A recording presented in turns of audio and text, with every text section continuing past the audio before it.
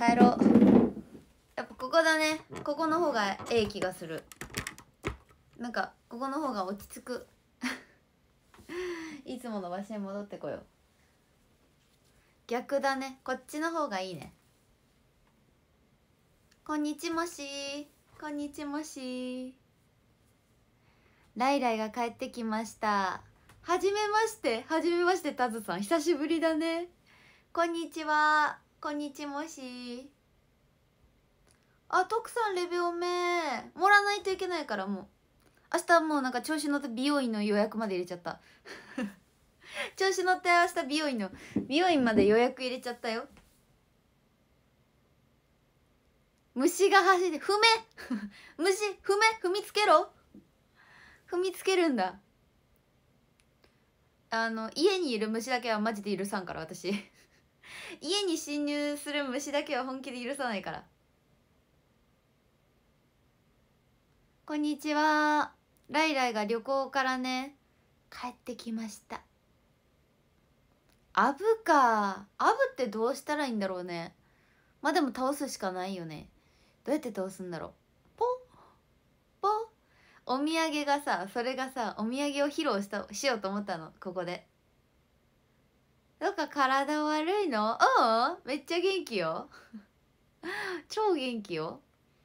あ美容院美容院。髪の毛の方。病院は行かない。病院は行かない。あのお土産がねそれがねあの発送したのよ。ホテルから発送したらしくてまだ届かんのよ。今日の夕方の4時以降に届くからもうすぐ届くんじゃないかなって思ってるところ。本人は寝てる。病院はね来週だね武井は。検査の結果が出るよ来週。まあ大丈夫でしょうと信じてる。こんにちは。開封配信はね夜ならいけると思う。夜なら大丈夫だと思う。まだ届いてないんだけどさすがに夜には届くと思う。病院じゃない美容院の。違うのよこのね。ちょっとめっちゃ恥ずかしい話だからちょっとあんまりしたくないんだけどさ。こんにちは。ちょっとあんまりちょっと恥ずかしい話なんだけど聞いてもらっていい？次ね22日から28日までのねあのー、韓国のファッションブランドの何モデルができますみたいなあの、あれがあるのよ。イベントがあってそれに出たいっていう話をしてたの。みんなに。昨日ね。それに出たいと思ってるんだけどあのー、今月さ一回イベント出ちゃったからもう出ない方がいいかなみたいな相談をしたんだよね昨日。そしたらあのみんなが「いいよいいよ」って言ってくれてよし頑張ろうって思って。ただそのイベントが1位になったら1位だけなのそのプライズがね。モデルできますっていうのが。1位だけで2位から6位をの中でもしかしたら1人0から1人だから選ばれるか選ばれないかも分かんないんだけど0から1にあの審査員賞っていうのがもらえるらしくてちょっとあの ビジュアルを強化しようかなと思って頑張っている所存でございます。でも0から1って書いてるとこ見たらさあの選ぶ気ないんだろうなってちょっと思ってるところはある。あのだって絶対選ぼうと思ってたら1から何人になると思う。1人選ばれますって書くはずだから選ぶ気はないんだろうなと思うけどあのちょっとあがいてみようかなと思って美容院行ってきよう行ってこようと思います。明日お昼から。髪の毛きれいきれいしてもらおうと思います。でも5月からね行ってないからね私ずっと。切り切りはしたんだけど染めたりはしてないから。そう配信を見て決めるらしいからあの スタイリッシュ配信にしないといけない。ホワイト注入ありがとう！ホワイト注入恐ろしいわ。恐ろしいな。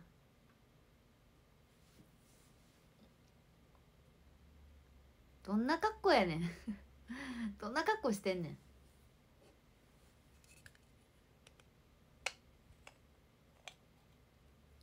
スタイリッシュじゃないコメントは皆さんお控えください。スタイリッシュ配信になるので。っていうね。なんかなんだろう。どこどう転んでもネタにされそうなイベントになっちゃう。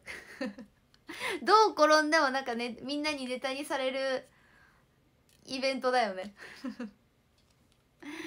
どう転んでもネタにされそうなイベントだなーって思ってます個人的に。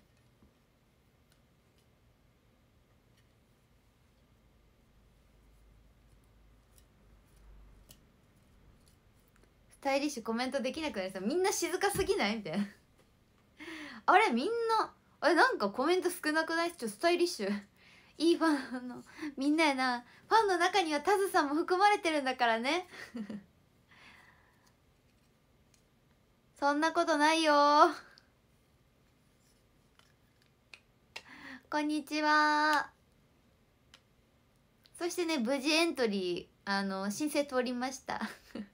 昨日の夜中申請して今日通りましたのであのイベント無事に始まりそうです。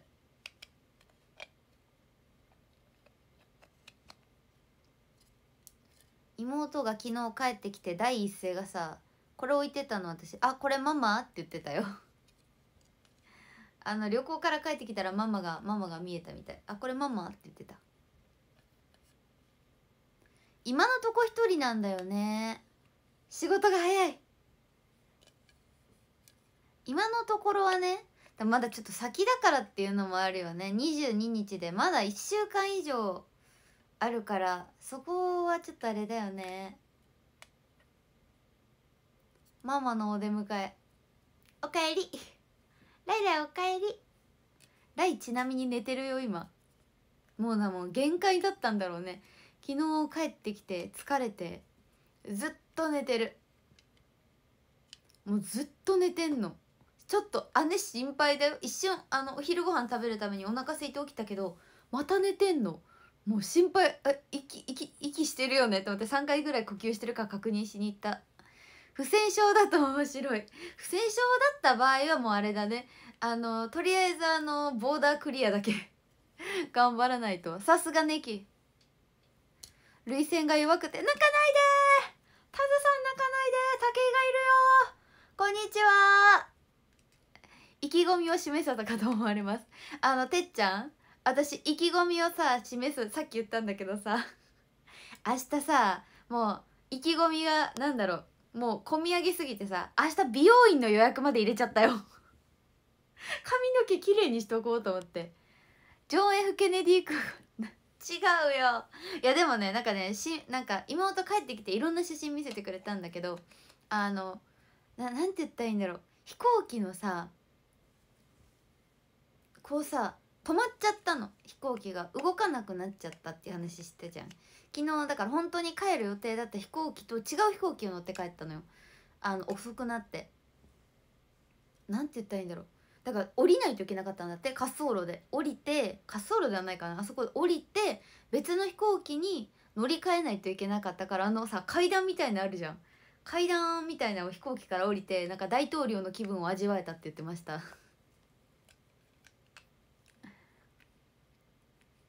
ネキを見てくる見てると涙出てくるよね。手元に舞い上がった胡椒があります。おっとそれはネキ見てなのか胡椒見てなのかどっちだい？いやライはね心配だよ。心配要素しかないもんだって。心配要素しかないんだようちの妹は。もう急に丸刈り？何ミリ？何ミリだろう？何ミリで帰ってくるか分かんないよ。ファンの皆様の優しさに涙腺崩壊。えタズさんも優しいからね本当に。過保護過保護かな？でも結構過保護だと思う私。あの、大好き。妹大好き。でもなんかあのー、妹がさあのー、お土産の説明をしてくれたの。まだ物はないんだけど。実物はねあの届いてないからあのねホテルから発送してる途中だからさまだ届いてないんだけどあの説明してくれてのね。これ買ってこれとこれは誰々に買ってこれおばあちゃんでねえねえはこれ買ってって説明してくれてんねんけど自分の全然買ってなくてあの子。あの子は自分の買ってないんよ。ブツ。でブツは届いてないんだけど。なんか自分の買ってないのよ。でなんかさ唯一買ったものがあってどこにあるんだろう。あった。この部屋に置いてる。唯一ね神奈川県に行ってたのうちの妹。あのディズニーランド行って3日目は東京観光なんだけど中華街に行きたいって言って中華街に行ってでなんか唯一自分に買ったお土産があって「こんにちは見てほしい」えそれそれって思って。これなんよ。置いてあったわ。唯一自分がこれ欲しいかわいいって言って買ったものがあのこれこれこれこれ何？これ。尊いめっちゃ尊いで買ってきて自分で買自分に可愛いって言って買ってきたのがこれ なんでこれ？びっくりしたよこれ。見て。ちょっと。これこれ。かわいいかわいい。言って買ってた。これ。それさあちゃんがかぶってたやつ。うん生首。あの横浜中華街で買ってきたらしいです。赤レンガ倉庫も行ったって言ってたよ。いやこれ？ポスカ これこれ買ってきたんだって。いやびっくりしません？そう唯一買ってきたものがこれだったの。でもなんかこのペン書きやすい感じのペンやって言って喜んでた。大学に持っていくんだってこれ。これで大学に持っていくんや言って買ってた。こんにちは。どこ行ったって言ってたかな？中華街とえー、っと私？似てる？中華街と赤レンガ倉庫とでその後東京に移動して原宿行って下北沢行って帰ってきたんだって。結構回れたんやな一日でって言って。朝から行ったって言ってた。なんだっけな何食べたあパンダマンみたいなパンダパンダあんまんみたいなパンダの形のあんまんがあるんだって。それ食べたって言ってた。中華街で。あ難波の配信でも見ました。渋谷は行ってないみたい。たらこスパゲティの専門店は行ってないみたいよ。なんか中華街でペリドットも行ってないな。あんまん食べてで原宿ではね何もなかったみたい。なんか何言ってなかってあれ買ったって言ってた。下北沢でわらび餅となん磯辺餅かな？磯辺餅食べたって言ってた。サラヘヨの妹ですね。サラヘヨの妹。めっちゃ美味しかったらしい。そのわらび餅か水が水かなって思うぐらいとろとろで美味しかったって言ってたよ。わらび餅食べてで何食べたって言ってたかな？でなんか空港で待ってる間にサンドイッチ食べて塩大福ねお願いしなかったのよ。なんか巣鴨行かなきゃってなっちゃったらね友達も巻き込んじゃうからかわいそうかなと思って。行きたいところがあったらあれかなと思って。今度ね武井が買いに行こう。美味しいよねあそこの塩大福。アンジビあったね。あパシフィコついでにどこ行った？あやばい待って壊しちゃったかもこのペン。やばい怒られる。あ危ない危ないもう触ら置いてくるで。壊しそう。私手に持ったもの結構破壊しちゃうから。置いとく置いとく。危ない危ない。元担当って何？元担当どこ？元担当どこの推し？それ。ホスト？担当ってホストってこと？パシフィコの近くだったら何がある？多分水だったのかもしれない。あの子水飲みながらあわらび餅と思ってるんかもしれへん。こんにちは。届いたらねあのお土産届いたらおじいちゃんがあの家に家の1階にポイって入れてくれるって言ってたから届いたらね配信の途中にでも届いたら開封配信できるんだけど。それはねまだ連絡来てないんだよね。でも10月か11月とかなのかな。まだね連絡が来ないから分かんないんですよ。どうなるんだろうね。何月なんだろ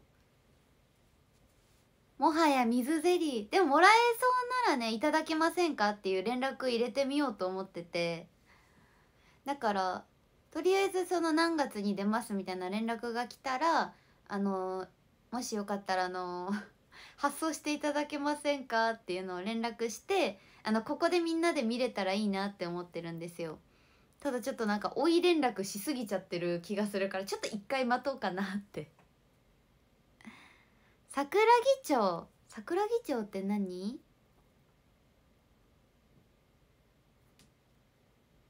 映せないものは届かんよさすがに。ただライ様が寝てるからね起きてほしいな。へえディズニーストアあったんだパシフィコの近く。ちょっと口赤くない？今日。血塗られたってやめてよ。なんか口赤。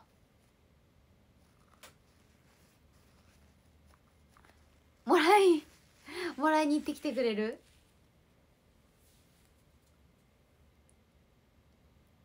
えしかも 2, 2回出れるんだよね確か。2位も前回の2位のさあれもねアドマチップだから2回登場できるっていう。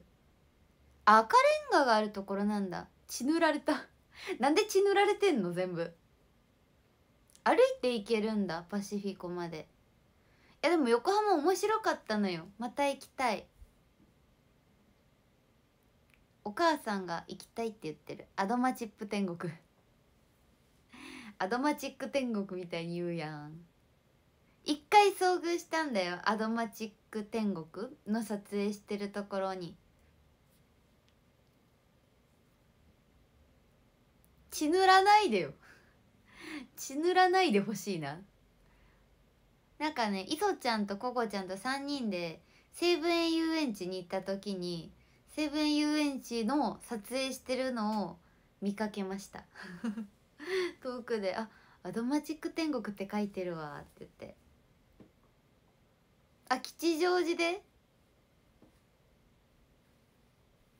平日だったからかな行ったのが。平日に行ったのかな？だったからかな。2回弾丸！弾丸秋葉原！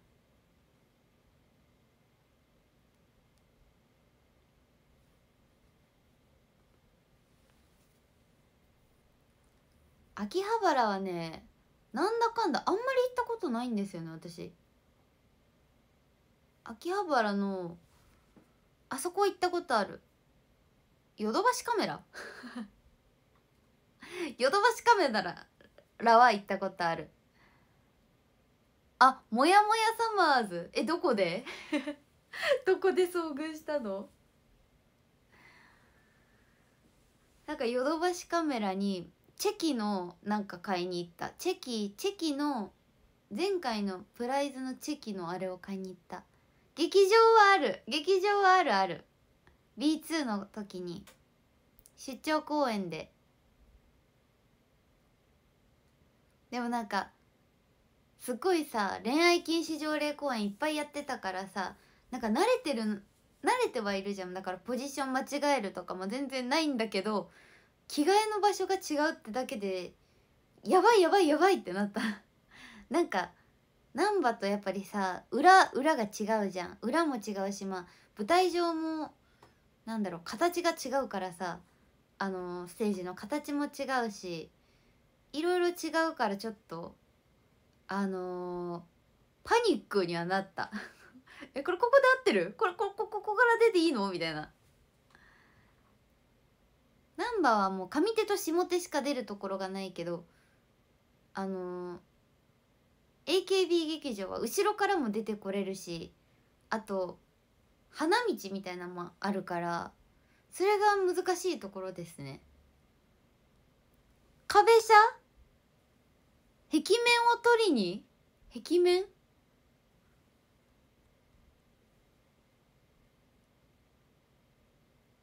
ヨドバシの上のカレンダーイベヨドバシの上のわかんないっす有林堂？雑雑雑誌がや？雑誌がや？雑誌がや？車映ってた。車が映ってたんだ。裏の動線も違うし裏の着替える場所とかもなんか決まってるのナンバーも武井沙羅もうここですみたいな。武井沙羅はここで着替えてくださいみたいな場所がもうずっと決まってるからチームが変わらない限りその着替え場所は変わんないからあれなんだけどあのー、なんて言うんだろう。そなんか走りに行くところがねどこに走っていけばいいのか。さらちゃんカレンダーイベはないかな。トイレどうだったかな。あメンバーメンバーの顔が描かれてたんだ。雑司ヶ谷。雑司ヶ谷って言うんだ。神奈川県？初めて聞いた。雑司ヶ谷初めて聞いたな。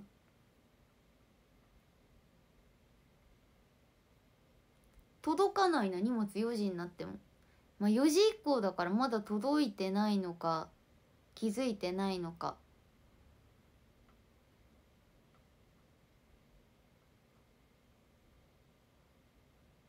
一部はねあるの。ただ全部なんだろう最終日に買ってくれたやつだけあるの。最終日に買ってくれたやつだけあるから見る？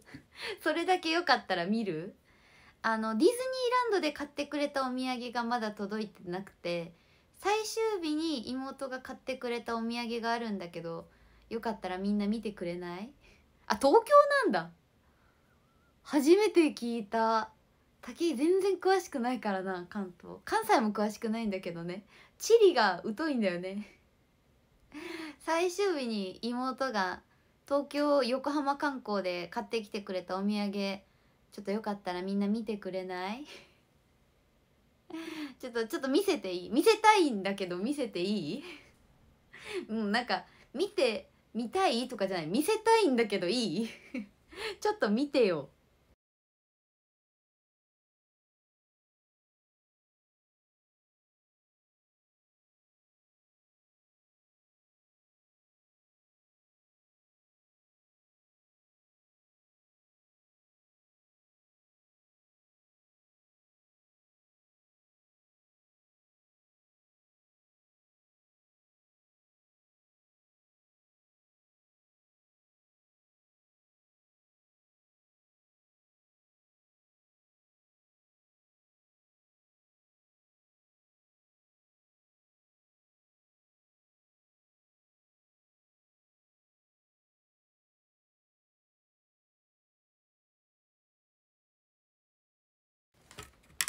ただいま危なかったぶつかっちゃいそうになった。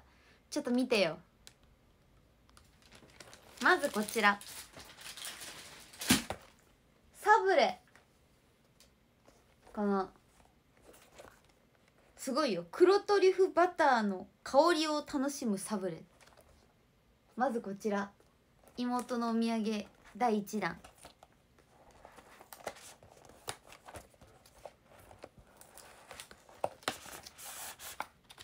こんなだって。じゃあさすがにさ勝手に食べたら怒られそうだから。これこれ第1弾。これはみんなで食べてんのやつ。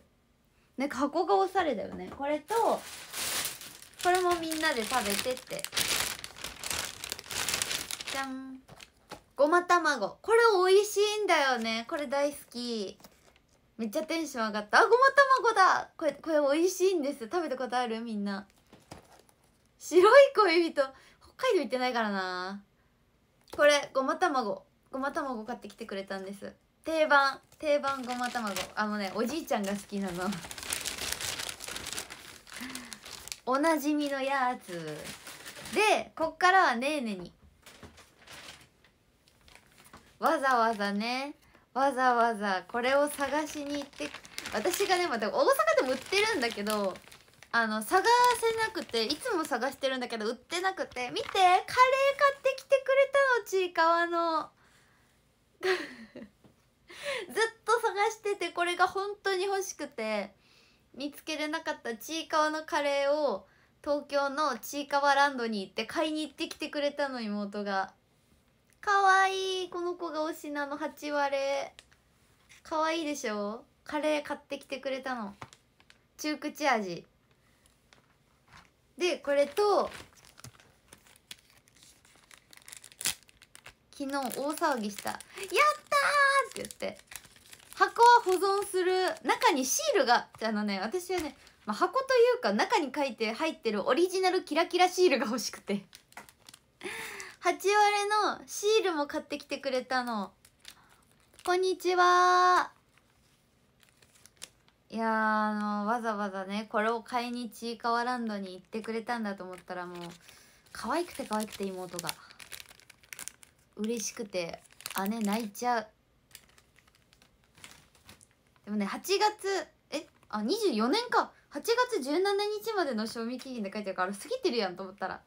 24年の8月17日までの。これ。いや開けたいんだよねこれ。いやい今開けてもいいんだけど。開け開けたいんだよねこれ。かわいいのもめっちゃ。写真撮ってから開けます。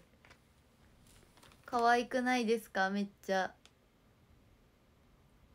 え栗まんじゅう好きなのよ私。栗まんじゅうの T シャツ着てるからねいつも。そうなの。妹からのお土産はこんな感じでして。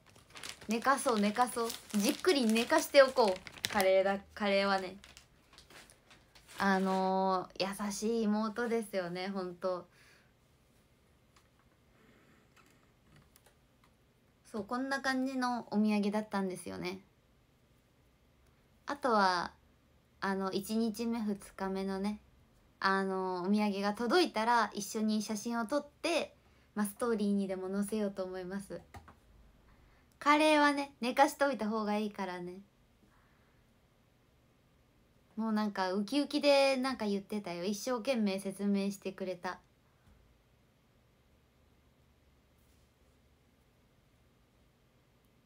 よかったちゃんと映せるもので。映せないものって何？映せないものはないや。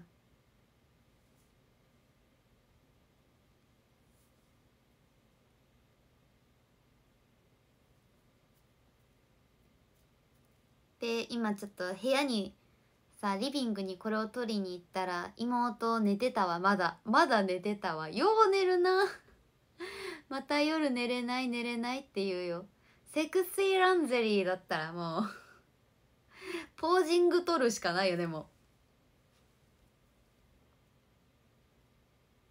あどうぞどうぞ。ご自由にあのうん取って取って取ってほしい。イベント大事だもんね。審査員見てないよねまだ。さすまた売ってる売ってるけどもう完売しちゃってるのか。あれかわいいよね。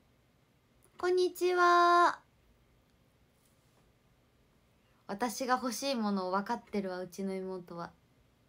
ありがとうございます。どうぞどうぞ。10分後にあるんだねイベントが。そりゃ大事だわ。イベントの星の力のねあれだから。星の力偉大なりだからほんとあれだねご丁寧にご丁寧に言ってくれるんだね。維心伝心。維心伝心だよ本当に。僕らはいつも維心伝心。夫婦早いんよねちいかわグッズが。ごい早いんですよ。今日はね放送日だったの。ちいかわ放送日ちゃんとリアタイしました。ちゃんとちゃんと7時40分に起きてちいかわを見るっていう一大ミッションをクリアしました。こんにちは。あご当地ちいかわ売ってるね。あの名古屋にね妹が行った時もねあの8割のストラップをね買ってきてくれたの。あの多分どこ なんか、どこかしらでちいかわを見つけてね買ってきてくれるんです。いつも。分かってますねうちの妹。ちいかわ今日は入れ替わってなかった。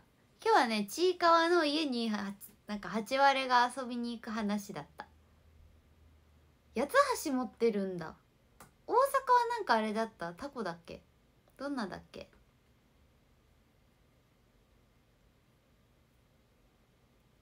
なんか名古屋のやつも可愛かったよ。飾ってます。なんか一部なんかちいかわエリアみたいななってる私。ちいかわいろいろ買っちゃって。朝のちいかわ占い早くない？めっちゃ早いんじゃなかったあれ。起きれないんだよね。ちいかわセンサーすごい。あちいかわがいる！って。あのー、朝さ朝弱いんです私結構。でも頑張って最近ずっと7時半に起きてるんだけどもう本当に無理な時は「てててててててて」の音でね起きれるの。あのちいかわ始まる音があるんだけど「てててててててて」あちいかわちいかわ。これ目覚ましにしたらすぐ起きる。どこでもいるよねちいかわ。はかわいいよ。めっちゃかわいい。なんか喋ってるところを聞いてほしいかも。あのすっごいかわいいから「ねいねいってこと？一生懸命喋ってるんだよね。私は妹はうさぎ推し。あー長野さん。あのクマさんか。ちいかわじゃんけん。ちいかわじゃんけん何時にやってんの？私もそれしか見てないよ。本編しか見てない。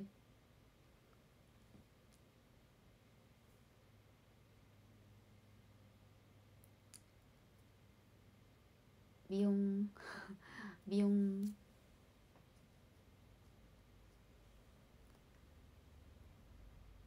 ちいかわはね最近の癒し。8割しか喋れない。8割とラッコは喋れるか。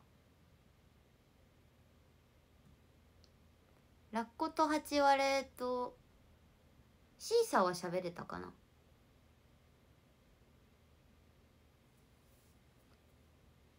でもなんかあのゆるい緩めのキャラクターが基本好きだからハマるんですよねこういうこういうキャラクターが出現しちゃうと。ハマっちゃうんだよすぐ。コギミンもそう。あのなんかゆるい。鎧さんっていう人と鎧さんいっぱいいるの。あとモモンガと栗まんじゅうとあとキメラとかが出てくんだよね。キメラとか出てくるから登場人物数えるの結構難しいよね。ちいかわはねあの2文字ぐらいしかさ喋れないんだよね。うんうさぎはあの規制しか発しない「うわーやーはー!」って言ってる。うちの妹はうさぎが好き。この3人ちいかわ八割うさぎっていう3人がまあ主な主なキャラクターって感じ。どんな世界なんやろ？えなんか地面から食べ物が湧いてくる世界だよ。本当に湧いてくるの。食べ物が湧く。なんか笛ラムネがこの間は湧いてた。可愛い世界。でもキメラが出てくるから敵もいるの。こんにちは。敵もやってくるけど基本可愛い世界観。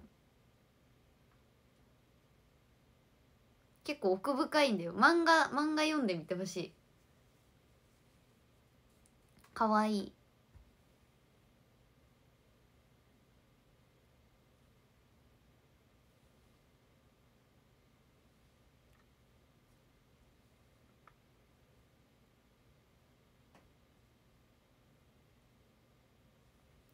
割とハガレン。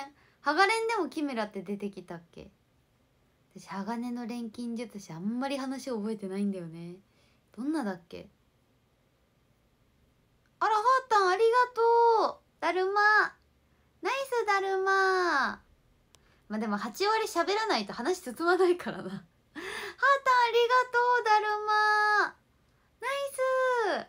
ありがとう。8割はね魔法は使わないけどなんとかなれって言いながら戦ってるね。大体でもなんとかなれって八割が言ったらなんとかなる。ありがとうハタンダルマあイワノフさんがフォローしてくれたよ。ナイスフォローです。チラしてくれてる。初見さん。ありがとう来てくれてぜひお話ししましょう。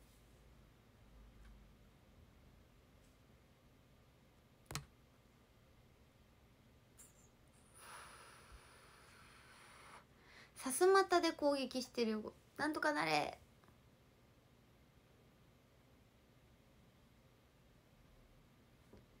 なんか今日ずっと目が痛いの。あのー、今日ね晩ご飯タコライスにしようと思って。タコライスの上の部分あるじゃないですか。あのひき肉の部分。あの部分だけ作ってたのね。もう先に配信の前に作っとこうと思って作ったんだけど玉ねぎを切るのになんかいつもあんまり痛くないんだけど今日の玉ねぎめっちゃなんかみずみずしかったのかな？すんごい飛んだんだろうね。めっちゃ目が痛くて玉ねぎ切ってから結構時間経ってるけどまだ痛いわ目が。玉ねぎ効果。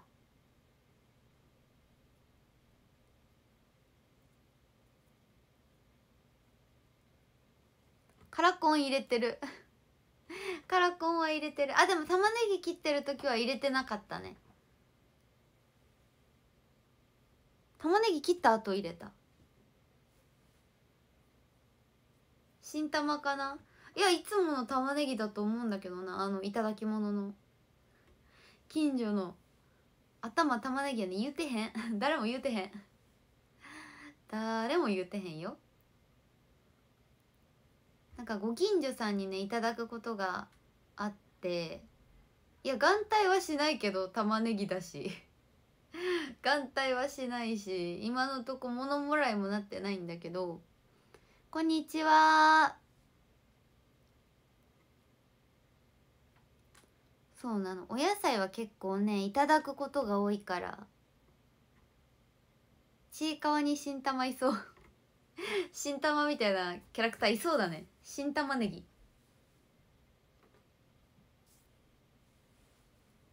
お野菜いただくこと結構多いからじゃがいもとか玉ねぎとかはいただき物が多いなそう考えると。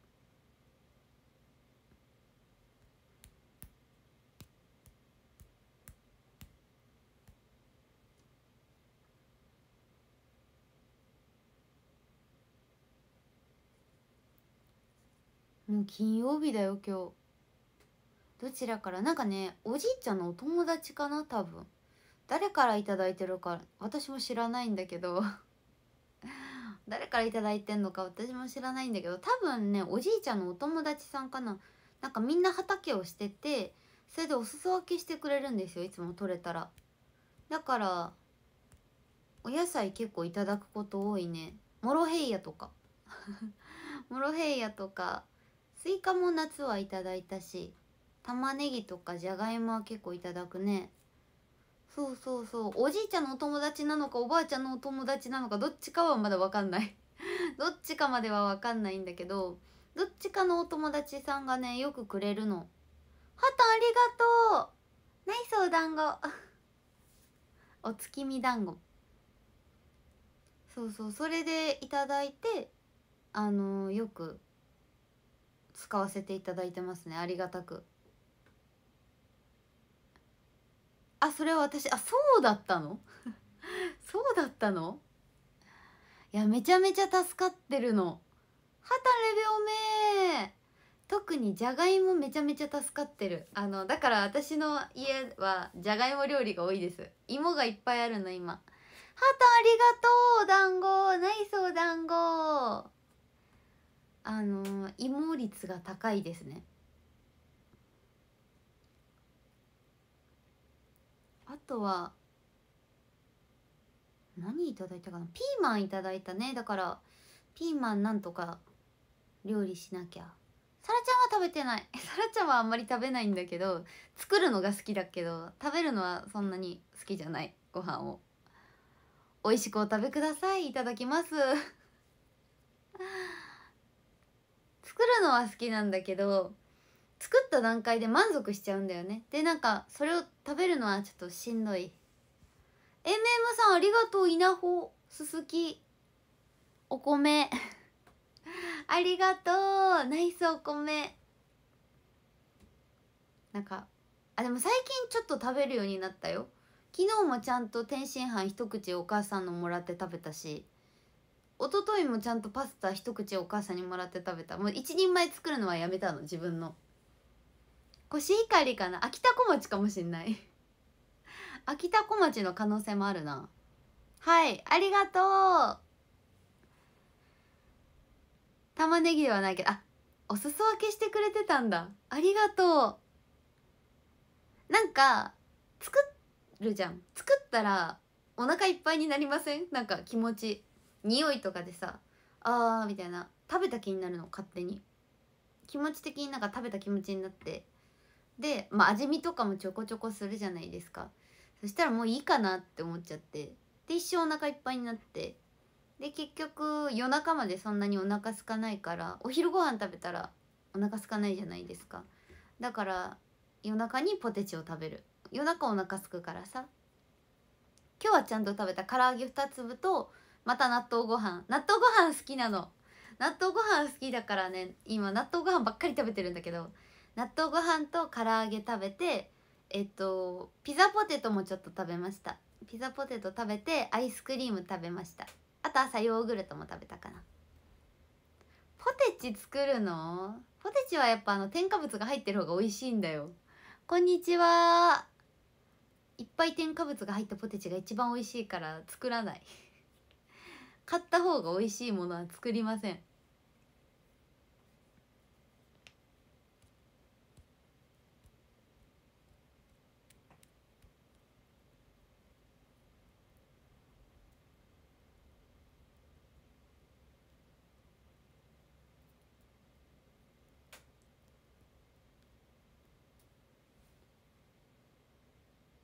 昨日は夜中スッパムーチョとガールズアワードってなんだ？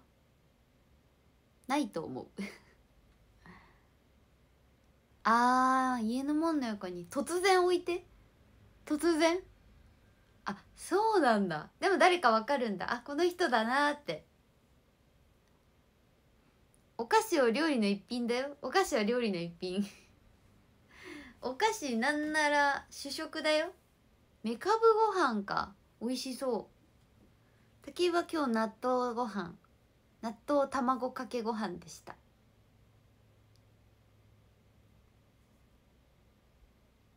納豆卵かけご飯美味しいんだよね。あそうなんだ。幕張メッセで。ほえー。ほえーって言っちゃった。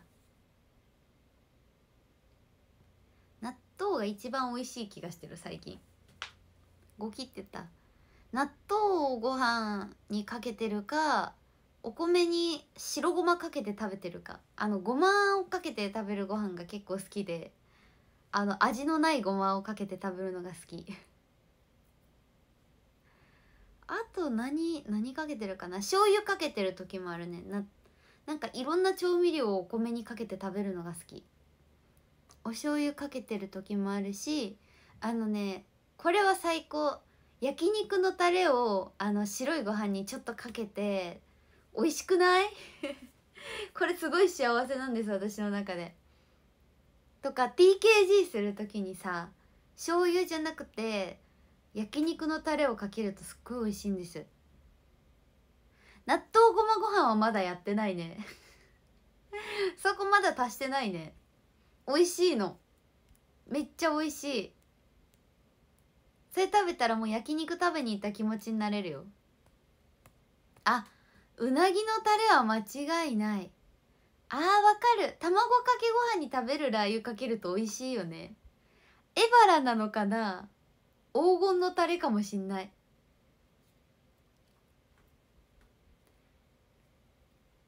焼肉のタレ。焼肉のタレは多分大体何にかけても間違いないと思ってるところがある。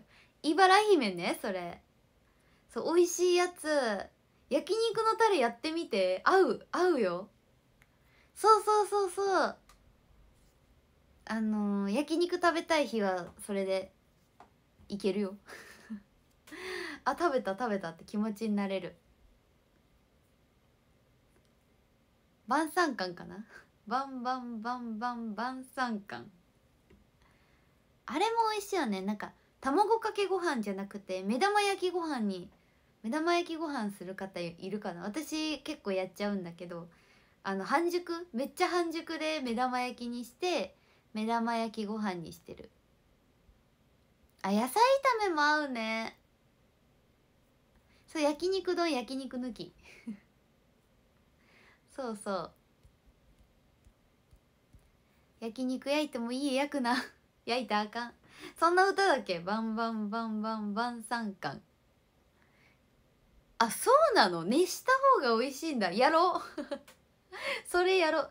熱したやつを卵かけご飯にかけよう。わ明日のご飯決まったわ。え明日いいねそれ。焼肉のタレまだあったかな？あでも納豆ももうあと1パック食べてしまわないといけないし。悩みどころだね。納豆先食べた方がいいか。納豆の賞味期限が迫ってた気がするから納豆だけ明日先食べちゃおう。うん。あと1パックだけ残ってるから。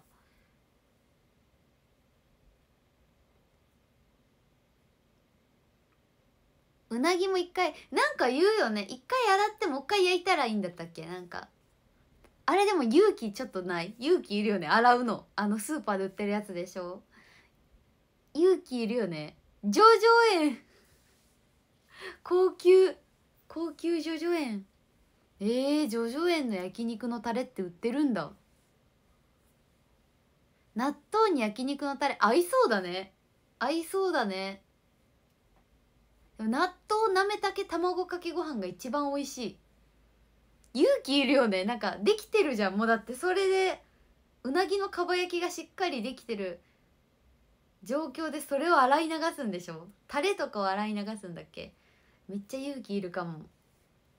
こんにちは。どうもどうも。ちょっとみんなあのパルムの安納芋味が美味しいから見つけたら買ってみて。竹井調べによると結構薬局に売ってる。スーパーより薬局で見つけることが多いからよかったらみんな食べてみて。安納芋で外がねホワイトチョコをまぶしてあるの。それが美味しかった。いやなんかねライフハックみたいなのではやなんか話題になってて一回洗い流して焼くんですってもう一回。フライパンで焼いてでそこにや何うなぎのタレかけてやったらなんかお店の味になるっていう。本当かなっていう。それ本当みたいな。あパルムまだ見つけてない？あのー、薬局にあったよ。杉薬局で私は見つけたよ。杉薬局とあとどこで見つけたっけ？あウェルシアでも見つけたよ。サラちゃんがメイク落とすのもそっちの方が勇気いるな。メイク落として配信ほど勇気がいることはないからな。杉薬局の冷凍室コーナーで見つけたパルム。美味しいのよあの安納芋味が。今私のマイブームはああとキウイのやつもあってキウイのこれはパルムじゃないんですけどちょっとシャーベットみたいなやつが売っててそれもなんかあのお得用のやつがあってそれが美味しいです。いや薬局専属ではないと思うんですけどあのスーパー2店舗違うね3店舗もありました。3店舗スーパー回ったけど見つかんなかったんですよね。そうそうそう。でもあそこにはあったよ。バルツそれちゃう。破壊の呪文？それ。ムスカでも見つけたら食べてみてほしい。あの結構美味しい。濃厚で美味しいです。なんか秋っぽいよね。ちょっと前髪キモくない？だけ今日。なんか秋っぽい味がして美味しかった。あないの？ええー、ないのか。杉薬局って大阪だけ？そんなことないよね。京都ま関西地方だけ？あれ？あそうなんだ。日本酒で蒸してから。へえ柔らかくなるんだ。うなぎ蒸すの秋っぽい。夏じゃないの？うなぎって。土曜の牛の日は。こんにちは。夏だよね。でもうなぎ苦手なんですよね。あの私んちはおじいちゃんとおばあちゃんうなぎが好きなんだけどあのお母さんも妹も私も食べないうなぎ。東京にもある？唯一ないのか。鎌刈さん何県でしたっけ？聞いていいのかなここで。うなぎムースってなんかもう嫌だねそれ。それそれなんか嫌だね。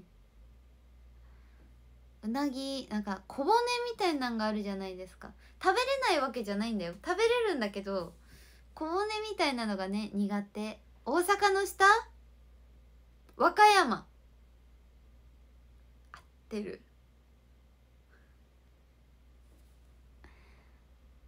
合ってる？竹あれだよ。日本地図が頭に入ってない人だよ。日本地図頭に入ってない23歳児だから。合ってるのかどうか地理できるやん。いや和歌山だけは分かった。え待って。大阪の上はどこなんだろうね。兵庫？兵庫京都奈良和歌山？大阪？合ってる？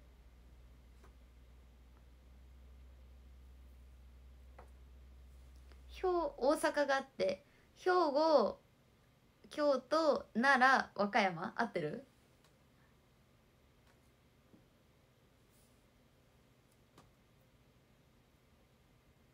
あわかる。タレタレが美味しいよね。うなぎのタレってなんであんなに美味しいんだろう。わかるわかる。私もねうなぎのタレご飯が好きだったからちっちゃい頃はお母さんがなんか半熟のスクランブルエッグをしてくれてあのご飯の上にさのスクランブルエッグ乗せてくれてそこにうなぎのタレをかけてくれるの。それがすっごい好きだったの。それ美味しいですよ。それ美味しいよ。大阪の上は空やねあこういう？こういう？こういうやつ？大体合ってる？チリできるかもしんない。2府4県はさすがに言えるよ。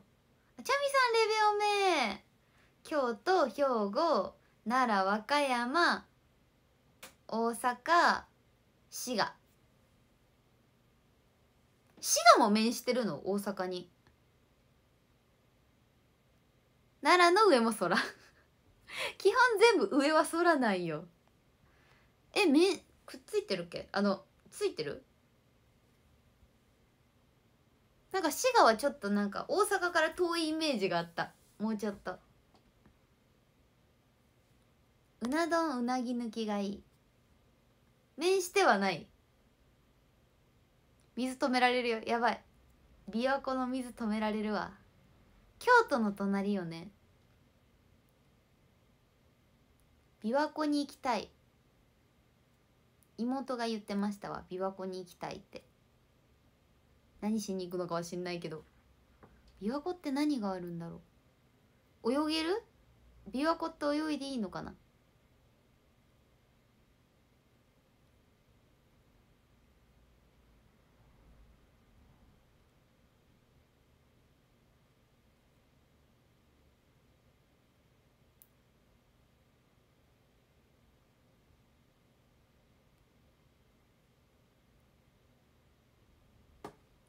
しわあわあ細かいことは細かいことは。おかえりキャンプキャンプってあれ琵琶湖だったの？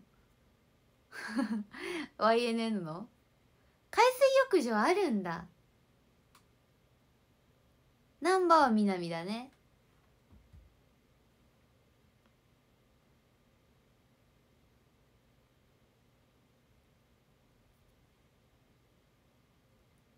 北は梅田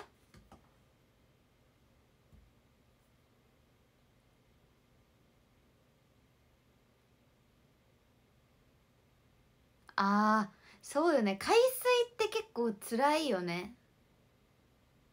あの私に苦手なんだよね。海の水。かぶれちゃうんだよねなんか。あハーサも南だね。南のハーサちゃんだね。なんかかぶれません？肌が。痒くなっちゃう。あのー、何なんだろうね。一緒なんかそこではいけるんだよね。そこではあのその場では大丈夫なんだけど家帰ったら痒くなっちゃう。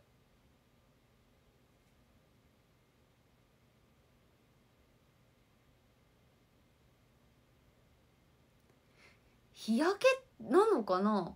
そうなのかもしんないね。南大喜利が始が始まってるわ。南とかなみみとか。大喜利始まっちゃってるわ。溺れてもしょっぱくないよ。溺れない方向で行きたいなできれば。できることなら溺れない方向で。痒くなっちゃう。日焼けかもしんないね。気づかず日焼けで痒くなってるのを海水のせいだと勘違いしてんのかもしんない。でもね私泳げないからさ泳げないプラス露出が嫌いなのよ。だからあんまり海水浴とかプールとか好きじゃないんだよね。あの水着水着が嫌だ。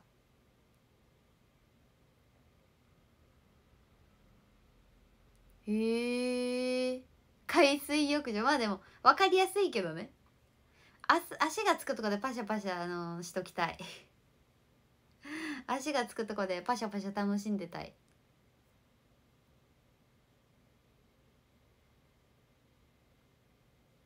なんかフェリーあります？フェリーかなんかある？琵琶湖。なんかちっちゃい頃にね行った記憶があるんだけどあれ琵琶湖なのかな？船船乗れる？足湯ぐらいがいいね。あったかいあのうん。あったかいとこで足湯がいいな私。あの温泉卵でも食べながら。ウェットスーツ。本気の人みたい。泳げそう。水売りって何？水売りって何？なんかあるのかな？なんかちっちゃい頃なんか乗ったような気がする。琵琶湖かなあれ。どこなんだろう。琵琶湖の琵琶湖の琵琶湖で船乗った気がするんだけどな。あれ琵琶湖じゃなかったのかな？ミシガンってやつ？ミシガンっていう船？なのかな？なんかすんごいちっちゃい頃って言っても小学生ぐらいだからね。あの記憶が確かじゃなくて。え手こぎじゃあこうやってこうやってやる手こ手こぎ？ボートではない。アヒルちゃんのボートでもない。遊覧船かもしんない。なのかな。おじいちゃんとおばあちゃんと行って。でもなんか方向が多分京都から行ってるから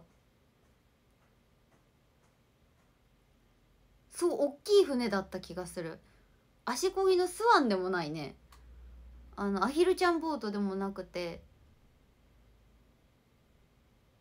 えミシガンってふあれ車も乗れます？車は乗らない？車どっかに置いて乗ったのかな？どうだったかな？すごい断片的な記憶しかないんだよね。でも大きい船だった。大きい船に乗った記憶がある。鳥人間コンテストでもなかったな。飛んだ覚えがないんだよね。川なの？私湖だと思ってた。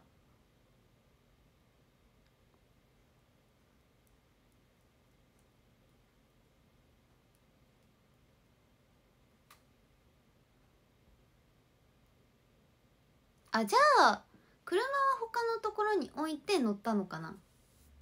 フェリーは違う記憶かな。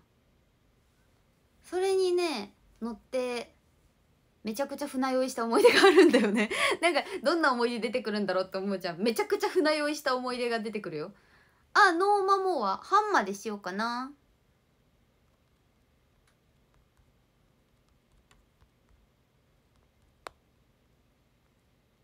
オッケー。え出てたんだ。すごい。24時間テレビだけ鳥人間コンテストって。あ酔うよねやっぱり。私船酔い多分するんだよね。ダメなのよ。あの揺れ揺れるからかな。こうなんかうわーって。波でも揺れるじゃないですか。もうダメなんだよね。車もちっちゃい頃だからかな。子供の頃結構車酔いがひどくて今は乗れるんだよ。今は全然大丈夫なんだけどあの車にさ運転なんだろう。まだ動いてない車で酔ってたのずっと。あフェリーフェリーもあるんだ。まああまり覚えてないからな。どどどれが正しいんだろうな自分の自分の記憶が。自分の記憶どれが正しいのかが。あー！船乗り場に車止めれるんだやっぱり。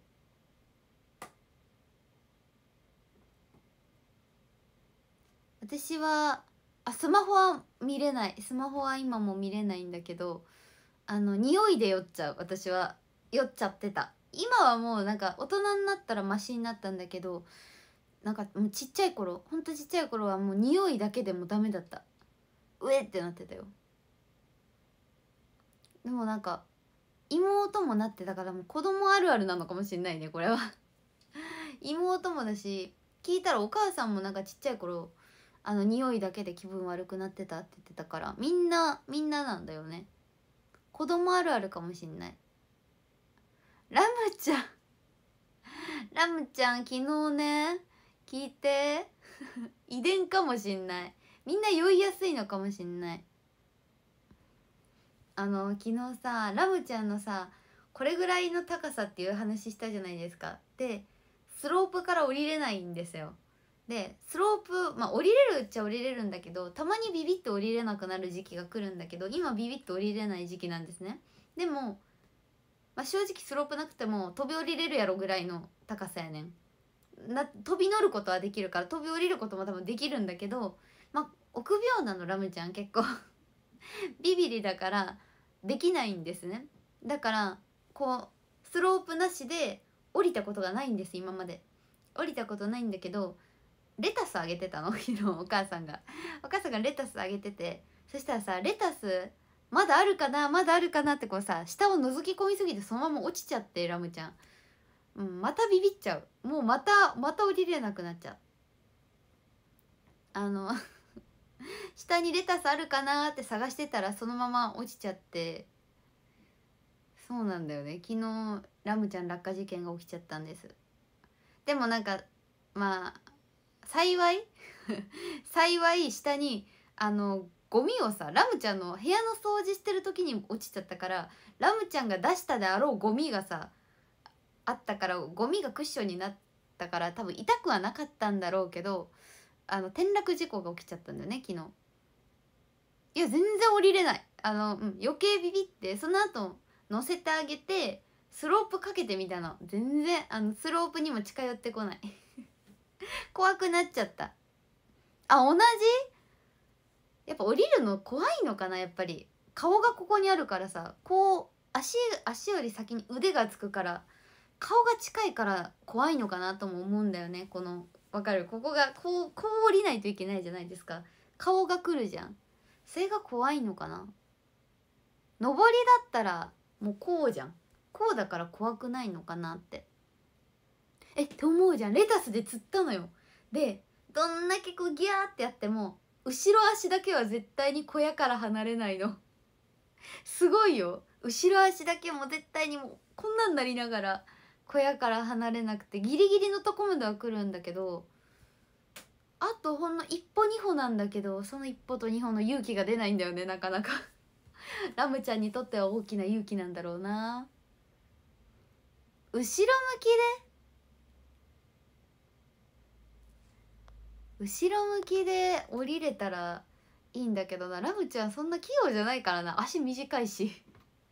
確かに。だから猫は木から降りれなくなるのか。だってなんで登れてるんだろうってなるもんね。あれ自分で乗ってたんだ。誰かに乗せられてるのかと勝手に思ってた。なんかよくね漫画とかである展開。誰かが木に乗せちゃってんのかと思ってた。自分で乗るんだ。結構の登れるんだね。ったのよそれ。大好きなきゅうりをさスロープでさこうやって並べて置いてたの。ちょっとずつちょっとずつ。でちょっとずつ全部食べたら下いつの間にか降りてますっていうあれをしたんだけど無理だったね。降りてこれなかった結局。途中の後ろ足が届くとこまで食べて諦めちゃった。いやうなぎ洗う方が勇気いるね。うなぎ洗うのが一番の勇気だと思う。モルケツダイバーできないのよラムちゃん。ラムちゃんちょっとすごく臆病だから。思いのほか臆病だからあの何しても結構ビビっちゃうから。だって最初一番怖かったものフローリングだからね。一番の強敵はフローリングだったからそこからねそこからのスタートだからね、まあ、だいぶ成長してはいるんだけどフローリングがまあ家部屋の自分の小屋の中の床と違うっていう理由で怖くて出れないっていうあれがあったけどジョジョ園は勇気いるね。勇気勇気しかいらないよもはや。ライちゃんがおいでおいでしても出てこないのよ。なんかなんかまたビビっちゃったんだよね。登ったんだ。降りれなかったんだでもやっぱり。登れたんだ。どうやって登ってるんだろうね。爪立ててこう上がっていくのかな。猫。飛ぶのは結構厳しいよね。さすがに上まで飛んで登るのは。脚立で。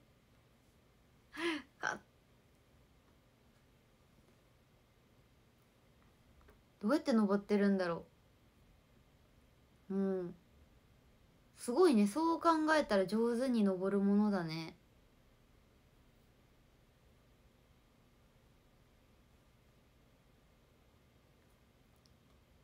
こっちが怖かった。確かに。脚立怖くないですか？私脚立乗れないんだよね。睡眠治療。降りたくなる降りたくなるって。うちのおじいちゃんさあの屋根とか登っちゃう人なの。家の。全然屋根とかも乗るしめっちゃ運動神経がいいんですね。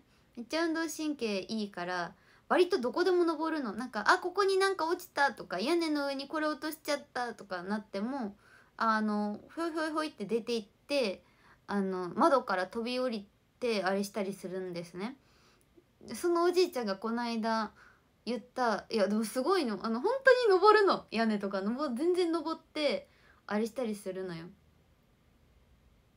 あの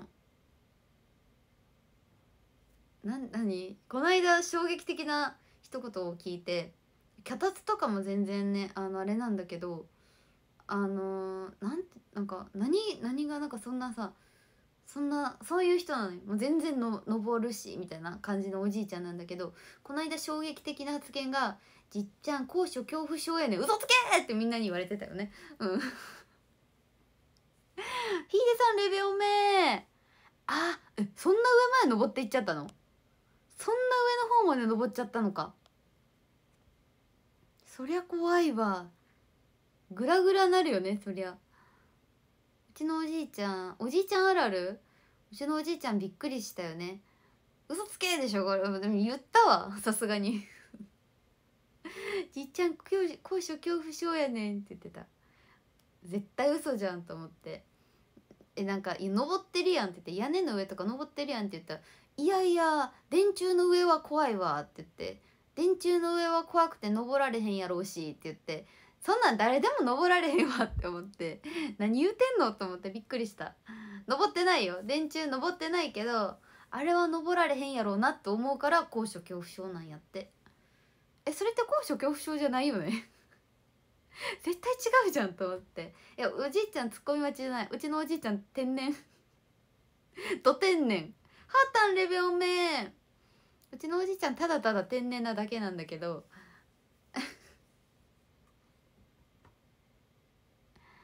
びっくりする。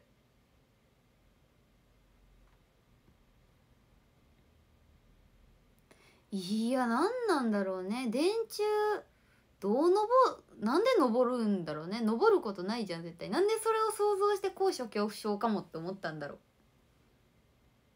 う。5メートルもそれは怖いわ。誰かが下で持ってても怖いよ。ホトさんレベおめナイスレベおめそうだよ。平気でヘビ捕まえるおじいちゃんだよ。それ。そその平気でヘビ捕まえるおじいちゃんがそれです。うちのおばあちゃんはうちのおばあちゃんはねなんだろう。どんな感じだろう。あーななんだろう。天然ではないかもしんない。うちのおばあちゃんは天然じゃない。おじいちゃんの方が天然かも。おばあちゃんはおばあちゃんは私とよく喋ってる。おじいちゃんは妹とよく話してる。似てんのよ。私とおばあちゃんめっちゃ似てんのよ性格が。性格そっくりだからさ話が合うからさずっと喋ってんのよ。私もヘビ触れないよ。うちのおじいちゃんヘビ素手で行くからね。なんかベランダに侵入したヘビをさこう素手で持って持って帰っていったからびっくりした。えーって。その紹介え本当に似てんの？うちのおばあちゃん。だから似てるからなんだろうね。めちゃくちゃあの話が合うから結構喋ってる。今はねあのおコロナかかってからコロナかかる前からこっちでちょっとそれは暑くてっていう理由で暑いからこっちにいたんだけどあの向こうの部屋を今開けてるのねコロナかかった時に使ってた部屋開けてるからこっちでまたねずっと寝てるんだけど結局。おばあちゃん家で寝てないんだけどおばあちゃん家で寝てる時は基本夜な夜な 夜な夜なお菓子を持っておばあちゃんの部屋に行って一緒にお菓子食べながら語るっていう。語る会があるから。語る会の日もあるし一緒にお酒飲む時もある。おばあちゃんはお酒飲む人だから一緒に2人でお酒飲んだりするね。誰も支えてもらえなかった。誰か脚立持ってあげて。怖くない？誰も持ってない脚立に登るのは。そう夜中のカタルシスしてる。あポテチ食べないねおばあちゃん。クッキーを持っていくの。おばあちゃんはクッキーかポッキーを持って行って。一緒に食べます。お菓子食べてお酒はチャミスルを飲みました。チャミスル飲んだり。あでもビールもよく飲みましたね一緒に。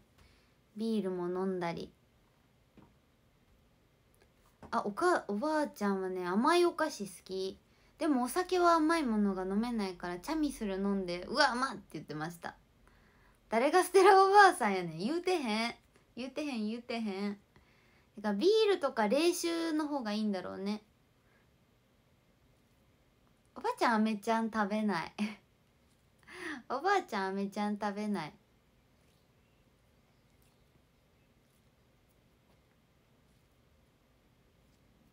お腹グーってなった。そうなんですよ。誰がビアードパパやねん。食べたくなるやんそんなお菓子のところばっかり言われたら。シュークリーム食べたくなっちゃうじゃん。もうすぐね敬老の日もあるしね。いつだ？再来週の月曜日かな？敬老の日。ちょっとライとね。一緒にケーキを買いに行こうと思います。甘いもの好きだからあの二人。おじいちゃんもおばあちゃんも。お腹空いてない武井沙羅ちゃん。消化した武井沙羅ちゃんかも。おじさんとかパパとか多いな。ケーキ屋さんに多いな。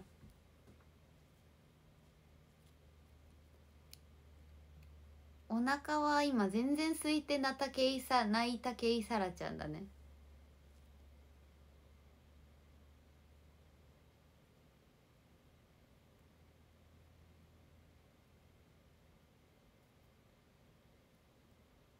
なんかこの時間にちゃんとお腹空いてくれたらいいんだけどね。この時間お腹が空かないのが問題だよね。この時間にお腹が空いてちゃんとご飯食べれたらいいんだけど。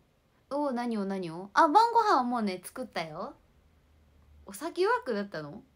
ハータンいつでもお酒飲んでるイメージあるのに。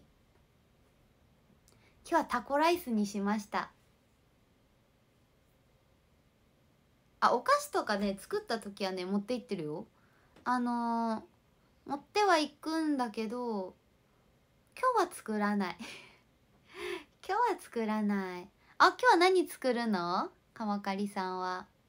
この間のねかぼちゃのケーキはねあの喜んで食べてくれましたよ。あーケーキの音もうーん麦茶かも。竹井麦茶かも。今日はタコライス。昨日天津飯。今日タコライス。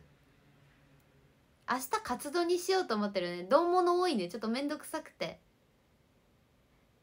え右右右助？右助の下側？右す右右助の下側。どこ？右助ってどこ？あ初見です。こんにちは。どこかわかんないけど。痛いの？え大丈夫？なんでなんで？なんか調子悪いのかな？大丈夫？病院行った方がいいんじゃない？あんまりひどいようならね病院行った方が。ご飯お願いします。言ってないよハータン。そんなことない。レタスチャーハンじゃない。チャーハンこの間もうしちゃったからな。今日はタコライス。明日はカツ丼にしようかな。カツ丼にするかユッケ丼みたいなのを作ろうかな。ノリスケやそれ。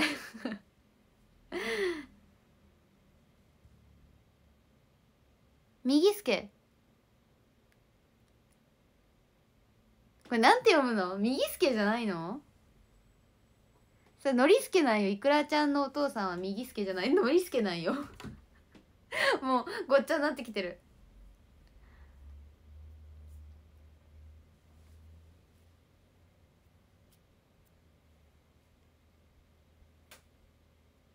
MM さんレベオメ私カツ丼好きなんですよ。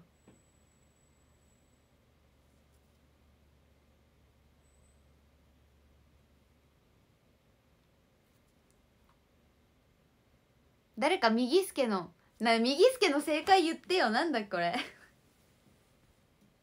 右スケートの妖精。それミニスカートの妖精なのよ。とんかつね。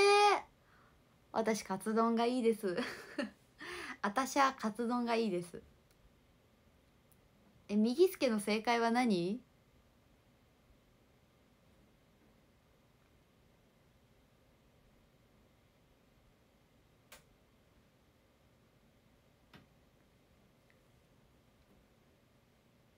え誰も答え言ってくれないじゃん。なんで急に黙るのみんな。沈黙じゃん急に。右助痛いのは大丈夫なの？一緒。どこかで恥かくじゃんこれ。どこで読むかもわかんないけど読むタイミングなさそうだけどもう右助でいいこれ。右助って呼ぶよ。大丈夫？ホットあホットさんじゃない。タズさんは。右好きかどこか分かんないから今どこ痛いのかが分かんないからさ。どだって右助の下ってどこだ？待ってほしい。右側だことしか分かんない。右助の下が痛いのか。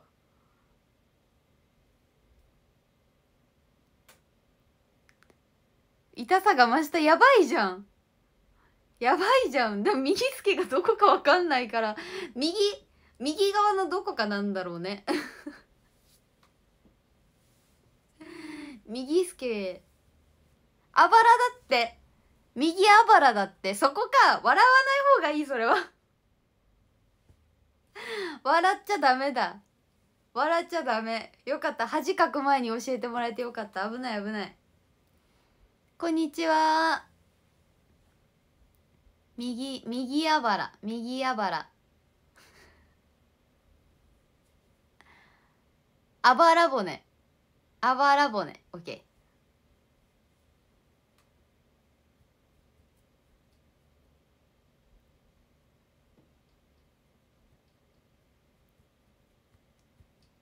あばら痛いってなんで折れてるとかではないの？大丈夫なの？秋葉原。それ違う。それは読める。さすがに。それは読めるよ。桂右助師匠誰やねん。いそう。いそうだな。絶妙だね。絶妙にいそうな名前。右あばら師匠。右助師匠か。早めに出しといて恥ずかしいからそれ。でみんな夜の頃にはもう忘れてるんよきっと。忘れてるから私一生スケスケ言っとかないといけない。っと言わないといけない。この時間になるとえ時間？時間で痛くなるの？えー、消化しててお腹痛いとかじゃなくてこの時間にちょうどなんかお昼食べたご飯消化してて動いお腹の中が動いて痛いとか関係ないのかな？どうなんだろう？えでもなんか毎毎回痛くなるんだったらね見てもらっても良さそう。左助も多分いるねこれ。右助がいるなら左助もいるいるだろうね。いそうな感じする。お昼食べてないの？お腹空いてないの？食べた方がいいよご飯は。私が言えたことではないかもしれないけど。おやつばか食べてるけど。えー、食べてご飯。卵かけご飯。食べて食べて。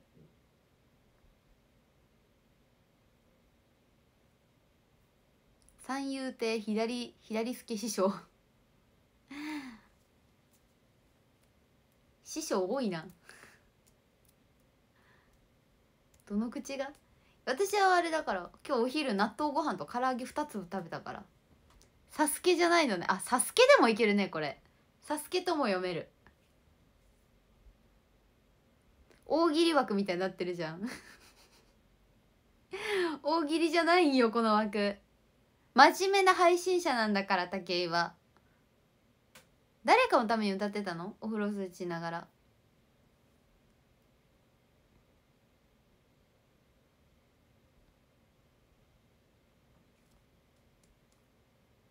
モデルから遠くなりましたねそんなこと言わないで。明日美容院まで予約しちゃったんだから武井。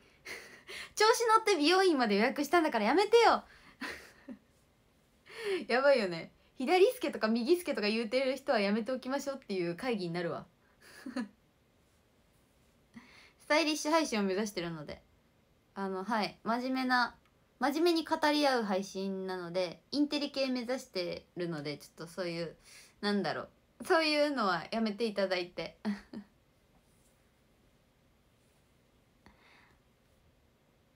スタイリッシュな大喜利配信。スタイリッシュな大喜利って何？かけ離れてる気するよ。なんかごめん。謝らないで。諦めないでみたいなちょっと芸人枠じゃないよ。アイドル枠じゃなくなったんだよね最近。違った。アイドル枠って言いたいってことだったんだけどアイドル枠じゃなくなったんです。出す。そう出す。あたすが。あお土産が届いたっぽい。これは夜配信で披露披露できそうだね。今届いたっぽい。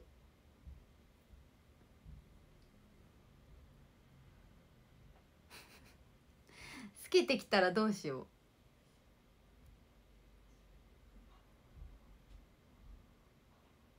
書いて。な何鎌刈さん何？右助とかさす サスケ？サスケっぽいね。サスケっぽいわ。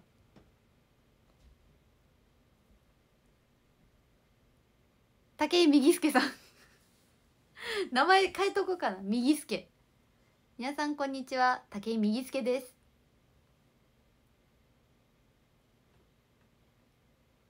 何があったんやってなる。言えない。ことの経緯を言えない。ああばらって呼べなくてこれスケスケ呼んでたら右スケになっちゃった。言えない。恥ずかしくてそんなこと言えない。誰が頭つけてるね言うてへん。私そんなこと言うてへんよ。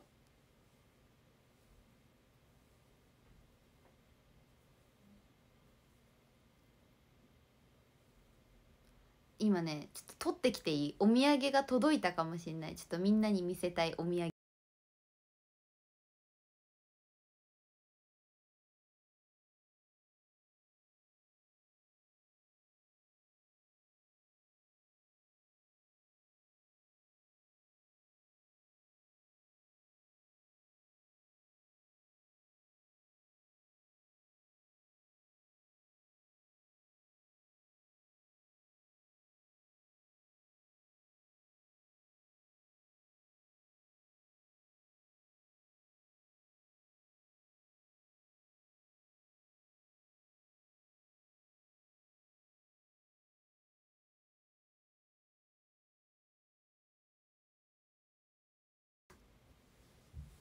なんかおばあちゃんがおばあちゃんが来たからさあの届いたのかなと思ったらさ届かないんやけど本当に今日届くのっていう質問だった。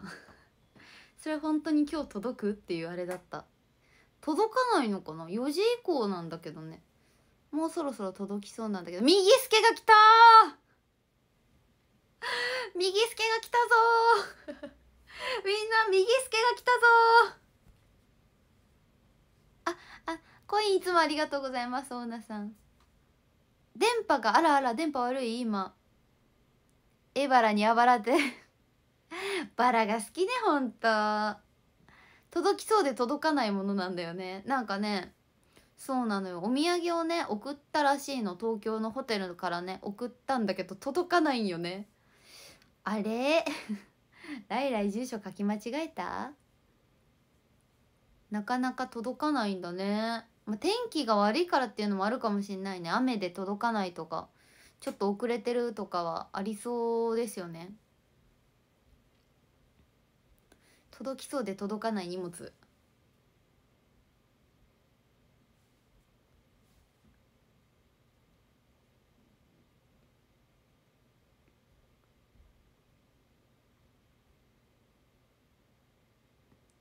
さらすけさんや。